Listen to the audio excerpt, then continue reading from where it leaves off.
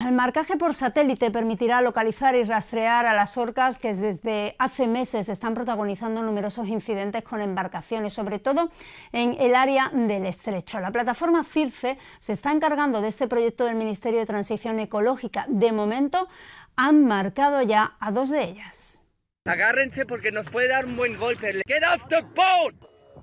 Las interacciones con veleros están aumentando de manera exponencial. Se trata de saber dónde están y por dónde se mueven para que las embarcaciones esquiven posibles choques con estos voluminosos cetáceos.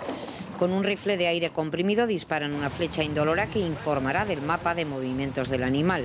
Como nadan en manada, un marcaje sirve para todo un clan de hasta ocho individuos. Cuando marcamos una orca, simplemente eh, podemos estar obteniendo información del 100% del tiempo que está con su grupo, es decir, unos 7-8 individuos, pero también nos va a dar en un 80% de, probabilidades el eh, core de, de su familia.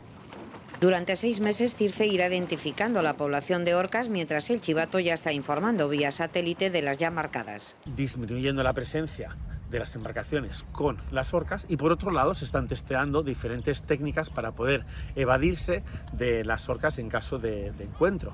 La seguridad de los navegantes es el objetivo sin causar daños a las orcas, especie vulnerable según el catálogo español de especies amenazadas.